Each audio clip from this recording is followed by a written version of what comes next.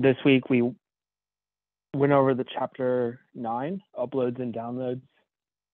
Um, here's a few of our learning objectives for uh, today's session.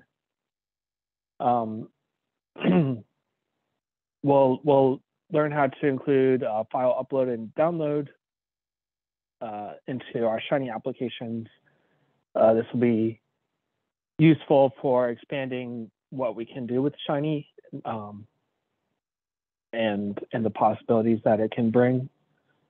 Uh, look into some some UI elements uh, with the uploading and downloading, as well as uh, the server elements.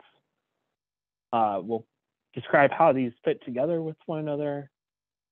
Um, we'll look into a few examples um, and and dive into it a little bit more. So this was um, uh, fairly short, but I also like we'll go into uploading and downloading, uh, but also it's a uh, important concept as well.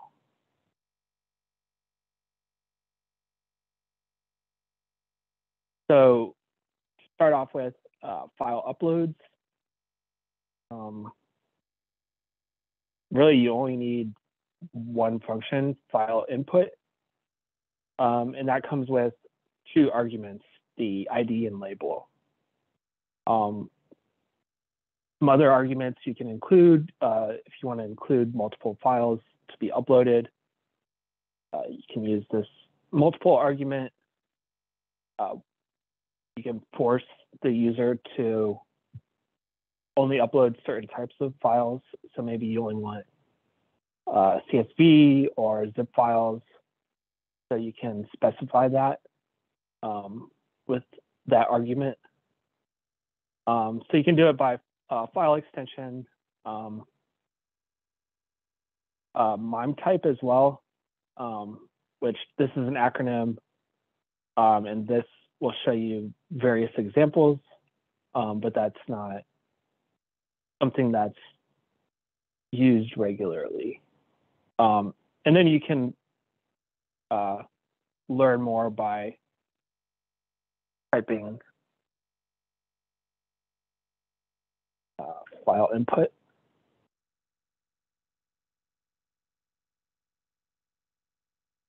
And so here's, you can like change the uh, width, you can change to the button label, uh, or the placeholder. And so there's a few um,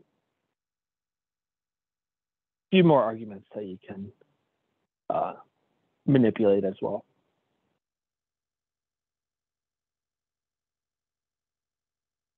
um, on the server side, uh, uh, we work with a data frame with a special structure, uh, and there are four columns. Um, that come from your um, file upload information, um, the name, so the name of the file, the, the size of the file as well, um, type, and the data path. Um, and I believe that the book shows what this looks like. Um,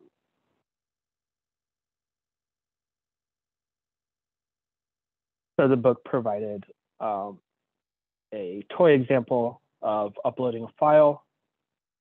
We have uh, upload in our button label. We can upload more than one. Uh, and it's just outputting the file information that you see in the server. And so that's where we get um, the name of the file, the file size. Uh, there's that MIME type, as well as the data path that um, Shiny interprets. So that's kind of the bare bones and the essentials of what the upload is doing. And I guess we can uh, if you didn't um, look at this, or we can we can take a look at this as well. Um,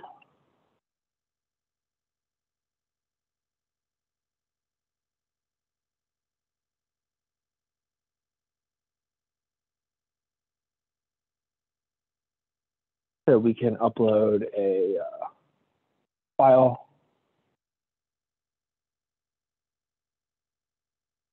So there's the file name that I had on my computer, uh, the size of it. Um, it was a CSV, so it's text slash CSV. And this is the relative data path that like Shiny uh, interprets for that.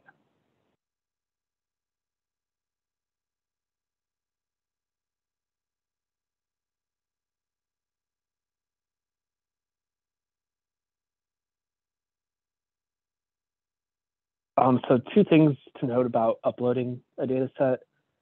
Um, use the uh, the req function to make sure the file is uploaded before code runs. Um, so if you have something after the the initial upload, that uh, a function that's working with the data, uh, be sure to use this to make sure that it's uploaded before your code runs, uh, like so you don't get an error. and then we use accept to uh, limit the input types.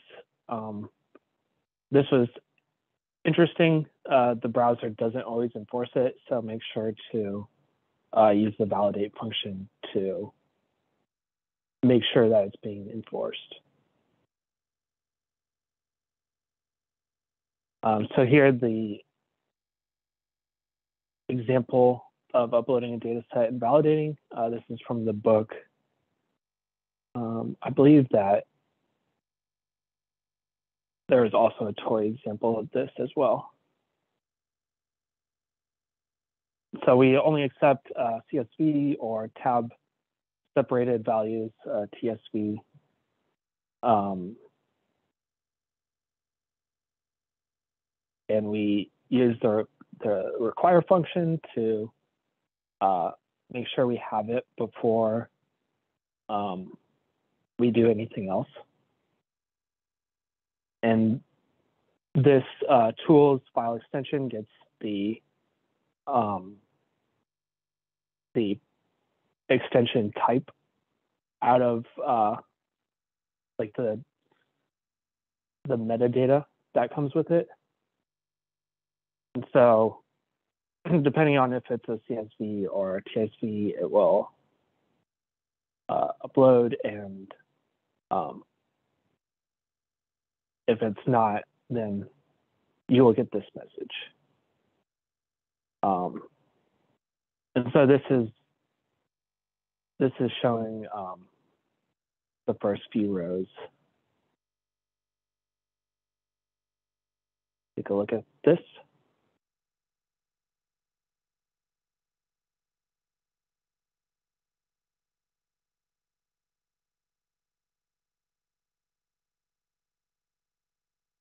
Um, and so this is interesting. I'm not sure if I noticed this in a different application, um, but it's forcing me to select either CSV or TSV. I can't, uh, for example, select this RDS file. Uh, so it's, yeah, it's limiting oh, That's funny.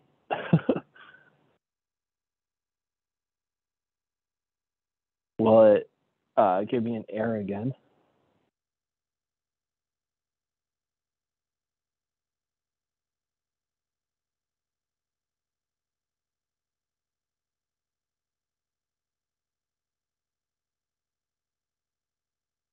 Hmm. I uh, am curious why it's giving me an error. I think it's Uh, limiting you to for CSV and TSV due to the accept argument for the file input. Uh, and I also got the same error in the app when I tried to execute it before. Oh, That's weird. Um,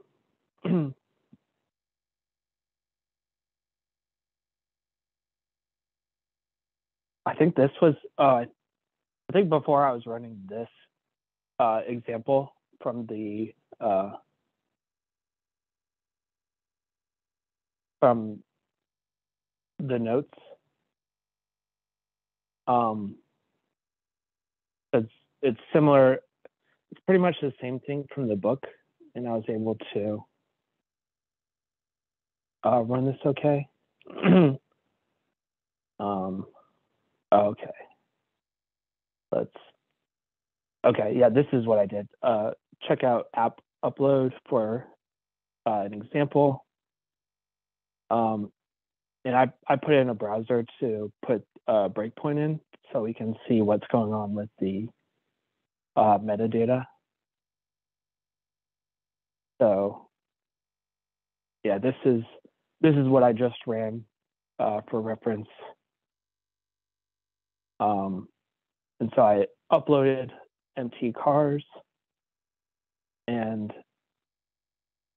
in the app, I put a browser statement in to uh, put a breakpoint in. And so if we take a look at some of that data, um, we see that the file extension is a CSV. Um, and we can take a look at some of the uh, metadata. And so there's the name, uh, size, and type for the file, as well as the uh, relative data path.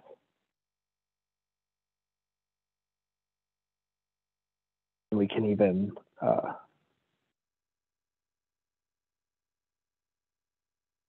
select uh, select out one of of we can like select the data path exactly, for instance. Um, so if we do, if we continue, um, then it goes ahead and uh, displays the data.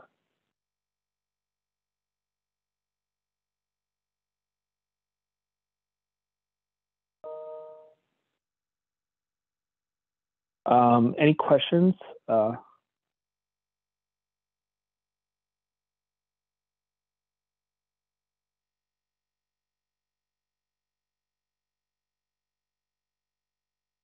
right? Uh, next is the downloads. Um, and for downloads, we use the uh, download button, ID and label, uh, or the download link. Uh, the difference is uh, just how they appear, a button versus like a clickable link. Um, so similar, but just different appearances. And then we can also customize with uh, different arguments like class or icon.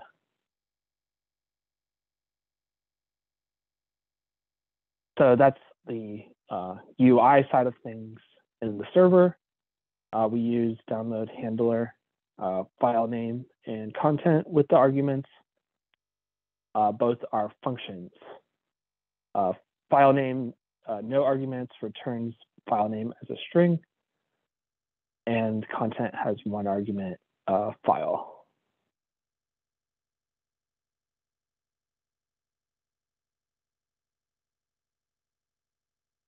I think we have an example coming up. Um, I, I appreciated this example and uh, and in showing how a Shiny app uh, acts um, so here's the diagram of, of what is taking place uh, in this example. Um, a user uploads uh, data into the app with file input. Uh, the user takes steps to modify the data. Um, so I feel like this this step's fairly important for uh, for for um, building an app that has uh, you know uploads and downloads. Um, a user might have data, but they might want to um, get insights into that data. So I think that sec that second step is where you might do like um, summaries or aggregations or statistical um, techniques. Um, and then once Shiny performs that, uh, the user can export the data um, like as a CSV or Excel or, or whatever. Um, and then the app creates a uh, file name and writes it to the user's computer. And so that's where the download button and the uh, download handler comes in. So a lot of times it's CSV, it could be like Excel or spreadsheet. Um, you can save it as an image. Maybe it's uh, a plot or a graph that you want uh, saved onto your computer. Um, or there's other outputs as well. Um, so we can allow the user to download a file containing data based on their exploration of an application. Um, and then we can provide functionality to uh, download certain types. So this is in app download.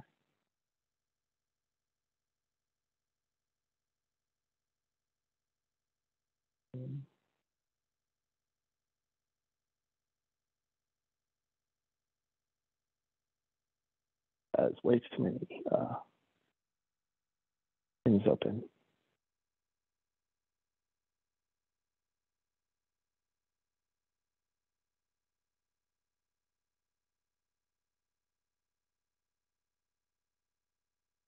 Is there a shortcut for uh, stopping the app? I've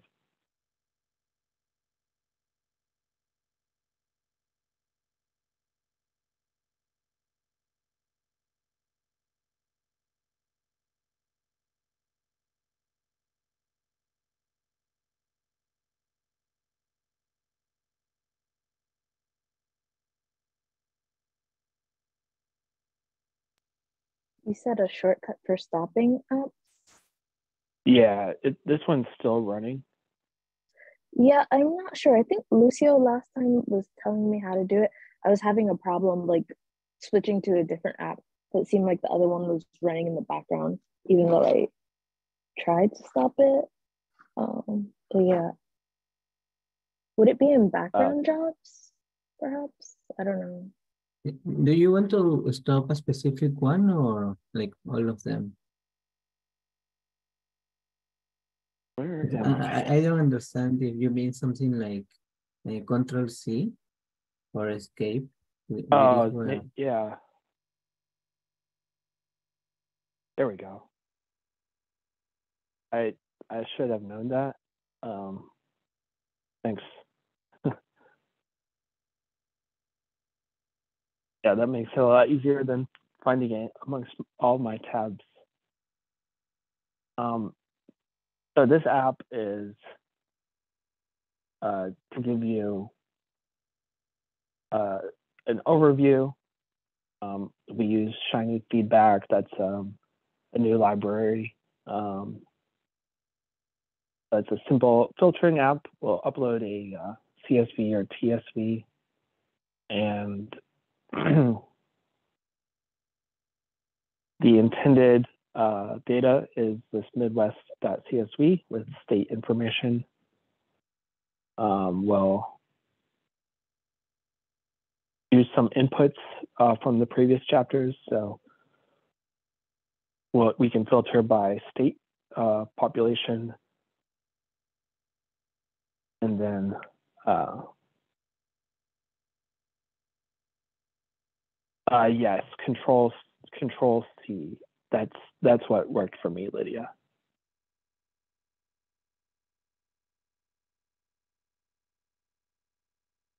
Oh, I'll type that out as well. So that saves uh, for the exported chat.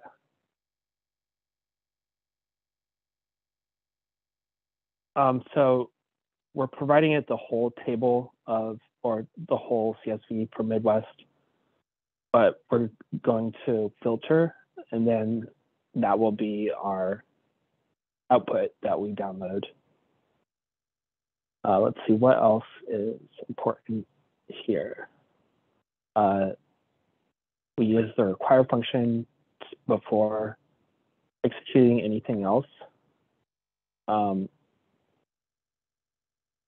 this gets the file extension, um, error handling, making sure that we're uploading a CSV or TSV. And then um, this is just getting our input and filtering it, uh, the output, and then uh, the download handler, uh, both our functions. Um,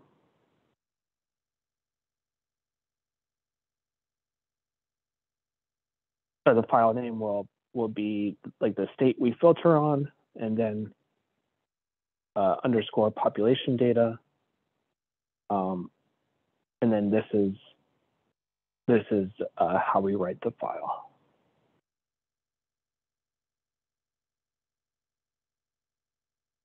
So if I run this, um, it, so give me some data. Um, I'll upload the Midwest uh, file. Since I live in Ohio, we'll filter by that. Um, I wasn't sure what this, I, I didn't upload, I didn't look at this file before, um, before I went through this exercise, so I wasn't sure what population size was. Um, but if we filter, it filters um, by the county population size. So all counties in Ohio with um, 200,000 or more people. And the, there's some other like uh, stats for each county as well. Download that. Um, it goes into my downloads and uh, there you can have it for like further exploration or if you want to like save a hard copy or whatever or like the user can save a hard copy or or do further manipulation. Um, but that's always beneficial to have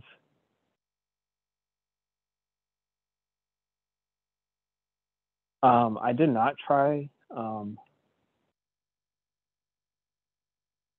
did not try doing a different upload.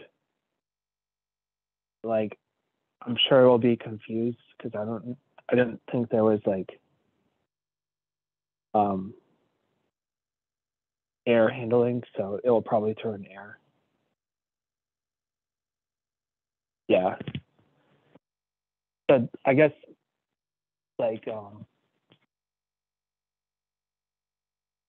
further like like a further next step would be to like make sure that the not only that the file extension is correct but making sure like the columns are the name that you want and the right type as well. Otherwise you might run into something like this uh, quick question Trevin my question was related to having the different data uploaded. Uh, could we just make it something like, um, instead of having state there, could we just make something like variable and make the filter by population size something totally different? Maybe not for now, I was just um, suggesting. Would that really do? Help? Uh, can you hear me? Yeah, I'm I'm trying to follow along. Um, you would have like a variable for, it seems, for what? It seems it, it seems as though the app is strictly for just that data. the other data Yeah. you use that contain the yeah. So I was thinking if we have a situation whereby, because I've been thinking of an app that um, we could that an app that could make it easy for students or maybe a lecturer to show several experimental design. That means this app you can have many data into the app uploaded, and then this data this data could be analyzed, possibly um, using different experimental design, maybe um, for example agricultural data sets. In that situation, how can is, is it, wouldn't it just be best to have those um, each of those um, fields changed to maybe um, variable, then maybe something else very different. Maybe that would really work. What do you think? Oh, you would have like you would have the possibility of having different different file types uploaded, like different um different data sets uploaded and and you would want the end result to still be um that you could explore the data no matter what um Yeah, I something like that. that? Yeah, yeah, yeah. So, so like, um, we go. So you have your Shiny app, and then like you'd want your user to be able to upload like either one of these and still have um Yes, and still get a result, still have a way to summarize result. the data. Yeah, something like that. Um, yeah, that that is po- possible. Um, I think. Uh,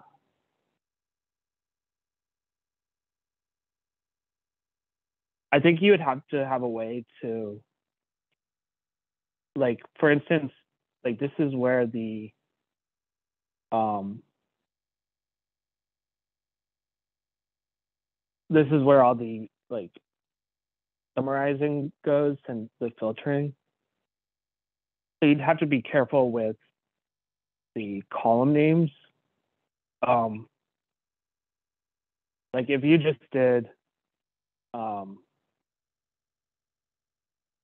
if you use like a function that could take any data frame, like the summary function, um, you wouldn't have that issue. But if you wanted to get into like specific uh, column selection, you could run into issues there. Um, oh yeah, I guess it. I guess it depends. I'm sorry if that didn't fully answer your question. Yeah, it does. It does. It does. I'll just have to give it a try. Then I, I think I'll just come back to the same um, quote and show you guys um, what I've done so far and get your contribution in the long run. Uh, I think it does. Thank you so much. Okay, cool. Um, and I also didn't look at the exercises too much in detail, but um, these these looked like they would be um, pretty useful to work through as well. Um, but yeah, thank you, thank you for the question. Um, any other um, thoughts or, or questions on on this section?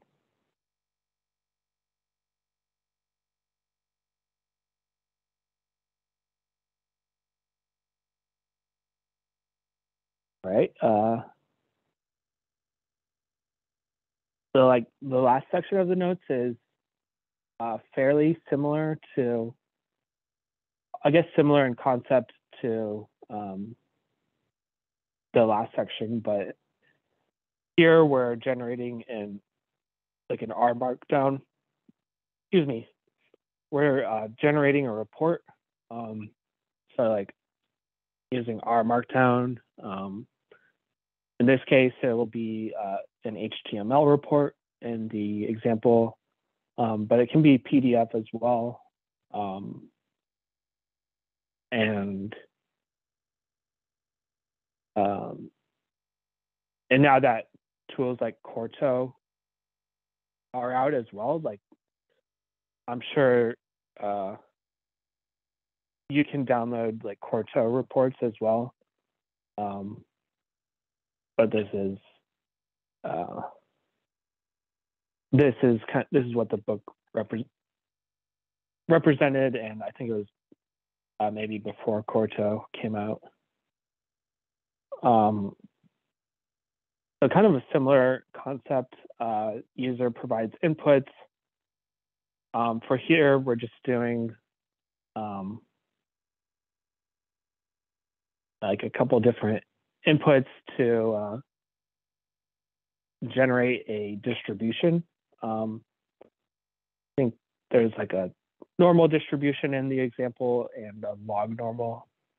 Uh, the app asks for like number of observations, so that will be another input, and then it will generate a report. Um, so there will be a list of uh, parameters, uh, in our case, uh, distribution and n. And then the parameters get sent to a .rmd file uh, for rendering. And then it's outputted um, with HTML or PDF. So uh, parameterized R Markdown is a good way to do this. Um, uh, so some potentials, filters, uh, simulation parameters. Um, uh, the key ID key idea here is call R Markdown render uh, from content argument of uh, the download handler. Um, so we'll take a look at this. Uh, control C, perfect.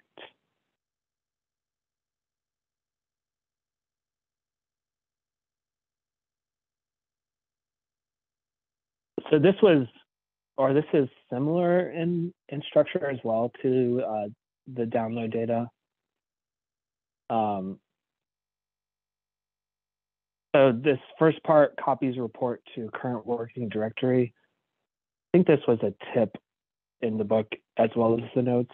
Um, .rmd renders in working directory, so copy file uh, temporary directory before rendering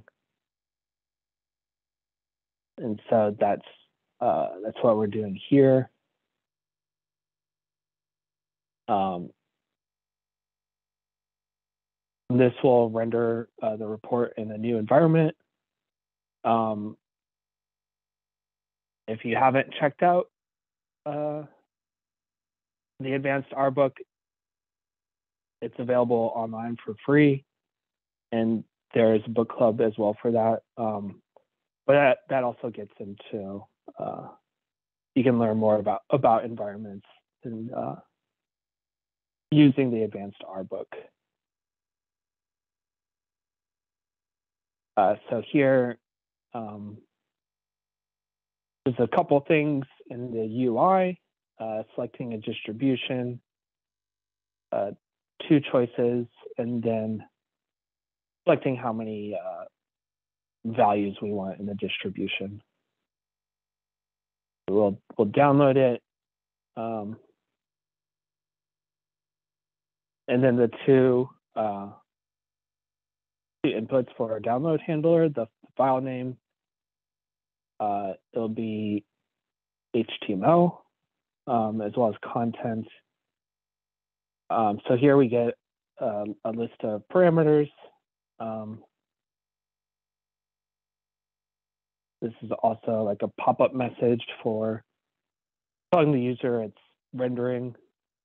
Um, and then this was in the last like step. Uh, .rmd renders in current R process. So consider running in separate session with, uh, for example, callr package. So that's um, that's what that's doing.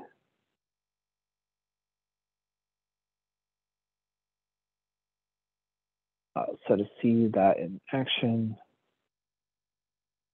sure.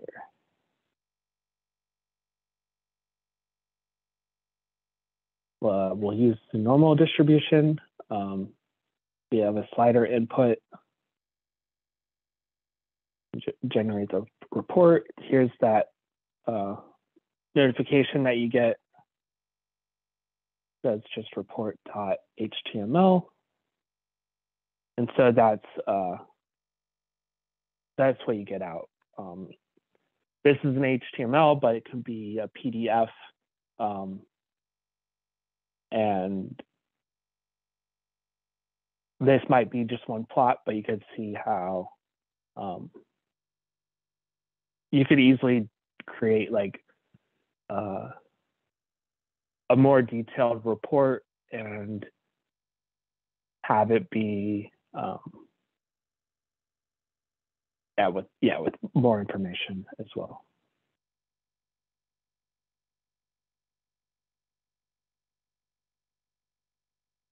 Um, so that was uh,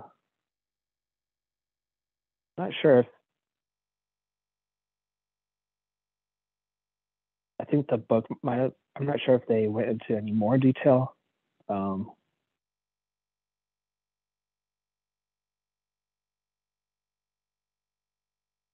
okay. Oh yeah. The other note was R Markdown works in the current working directory, which will fail uh, in many deployment scenarios. Uh, so like if you're using shinyapps.io. So that's a good, another good thing to uh, be aware of.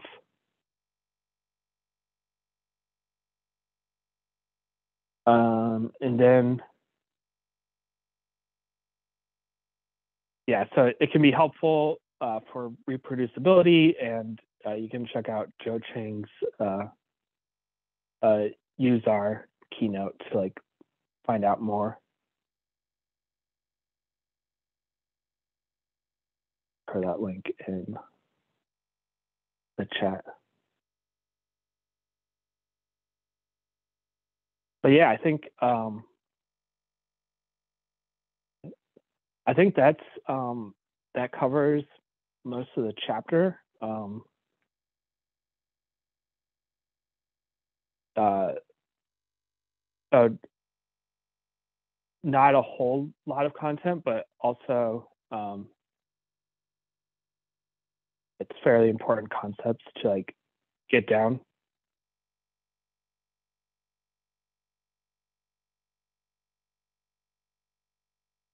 There's the there's Joe Cheng's talk.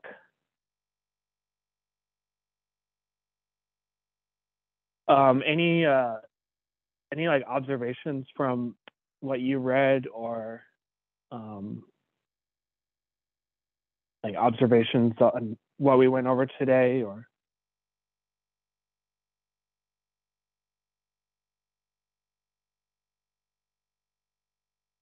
yeah i i agree lucio uh, those were some good examples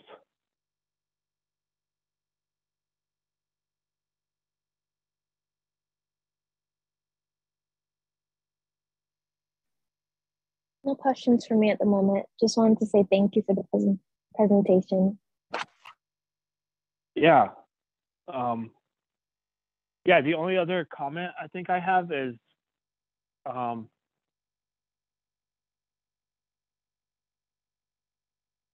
that uh, in my work, uh, we're we're working with um, we're working with someone else to help develop like a specific Shiny app and um, the app uh, asks the user to download or to upload um, data from a specific report and it's like a monthly upload and uh, that data gets sent to a um, a SQL database.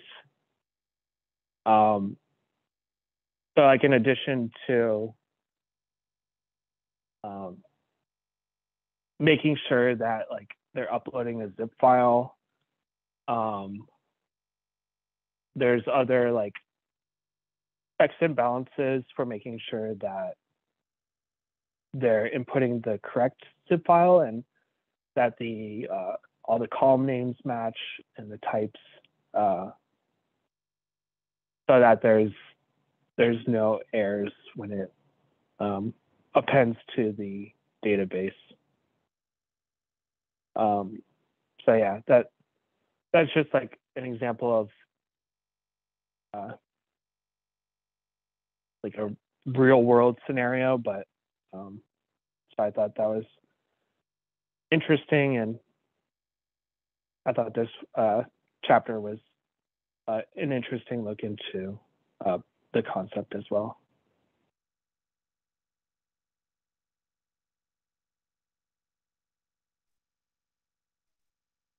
Thank you so much, Irvin. Yeah, thank you. Um, yeah, I think that's all I have for this week. Um, I want to say thank you everyone for coming around again. Um, uh, I think there's so much to say explore here, and uh, I look forward to going through um, going through it in depth. And also the link you shared out, uh, check it. Um, by next week again, we'll be going through another chapter, and um, I think Lucia signed up for that, and you'll be taking that chapter. So I think um, that, that that's it. Thank you so so much, um, Trevin. Um, uh, I, I do want to add one more thing, um, not related to this chapter. Okay. Um, I think I saw in this channel at the beginning of the year that uh, there may be another uh, studio Posit uh, Shiny contest. Um, I thought it was supposed to be at the beginning of this year. Um, so it's a public open contest where you can uh, build a Shiny app. Uh, you can build whatever you want, and there's um, in the past there were like different tiers for like beginner Shiny developers and uh, Shiny developers with more experience. Um, and they like gave away like prizes as well. So something to like keep an eye out uh, on in the channel. Thank you. And then I forgot if we already mentioned it, but I think Shiny Class is coming up. I forgot exactly when. Um,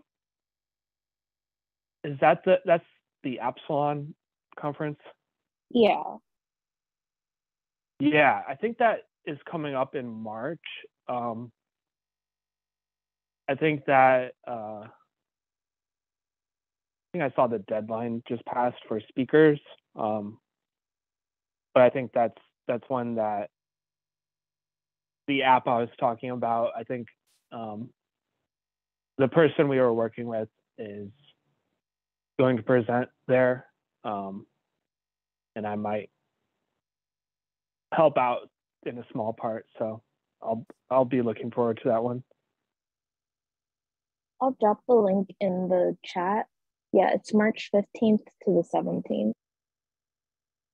Okay, cool. Yeah, I, I need to add that to my calendar.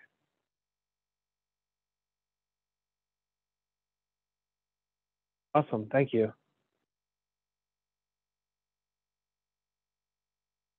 Um, and it looks like we dropped, or Matthew dropped out. Um, so maybe maybe we'll catch him in the Slack later. Sounds good. But yeah, thank you again, Trevin. I hope everyone has a good day. Awesome. Thank you as well. Uh. Thank you, Lucio. Bye, everyone. Bye, everyone.